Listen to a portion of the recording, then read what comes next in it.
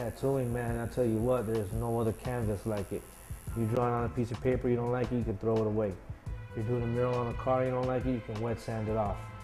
This stuff is built to last forever, that's it. When I tattoo someone, I'm putting my 30 years of experience on them. My first old lady, my argument with my wife, you know, my kids' first steps. You know what I'm saying? Like you really getting a piece of me. So if I'm in a bad spot, if I'm in a bad space, I'm fucked up, you're getting some of that energy put on you. You know what I'm saying? I think like most kids, man, most artists, I started drawing on paper and pencil.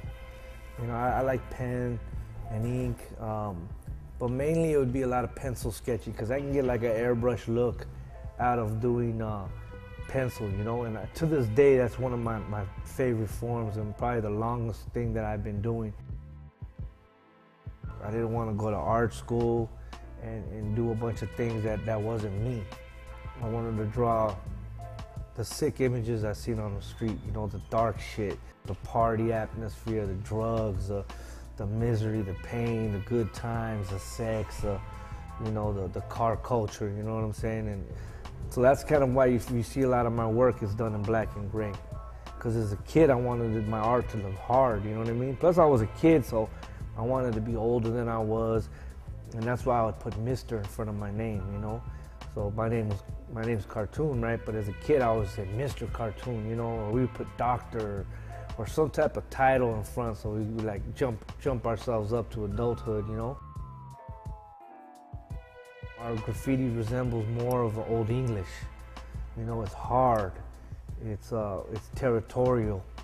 Um, where we loved East Coast graffiti, you know, like as kids, we, we wanted to be bombers. And as I got older, though, I knew I had to make something that was my own, you know what I mean?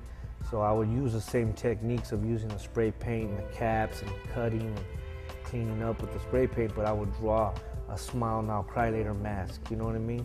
Or I would draw an old English piece, you know, with a with a crazy 3D on it. And I would kind of mix that New York technique of painting with LA icons, you know what I mean? So that's as a kid I was doing that. I didn't know that you know it would turn into a career and I would I would kind of uh, get known for that stuff. I just wanted to be known on the street for it, you know what I mean? I wanted I wanted to get laid for God's sake, you know what I'm saying? I mean, I was a simple man, you know it was no big master plan involved.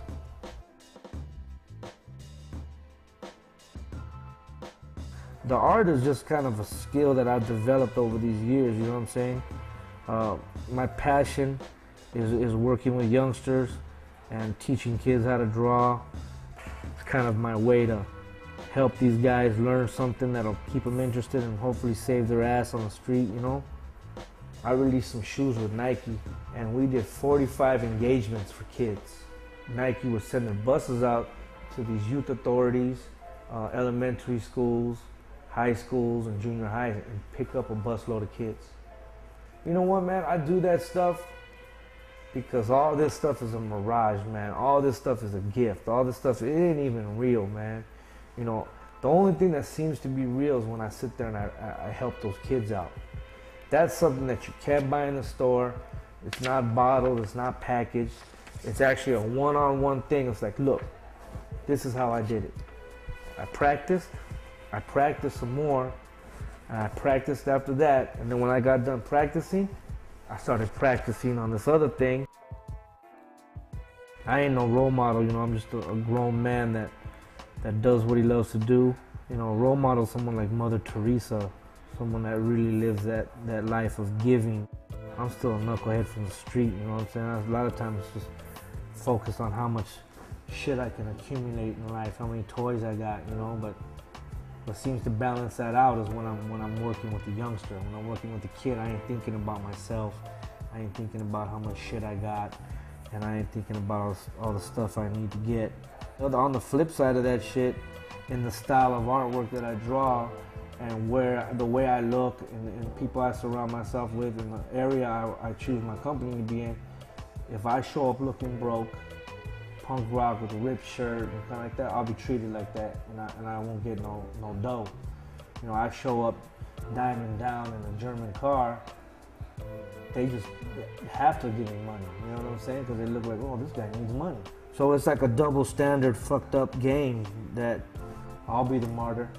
You know, if I gotta suffer and do the plasma screens and the paper plated trucks and the European whips, diamond chains and all that, I'll suffer.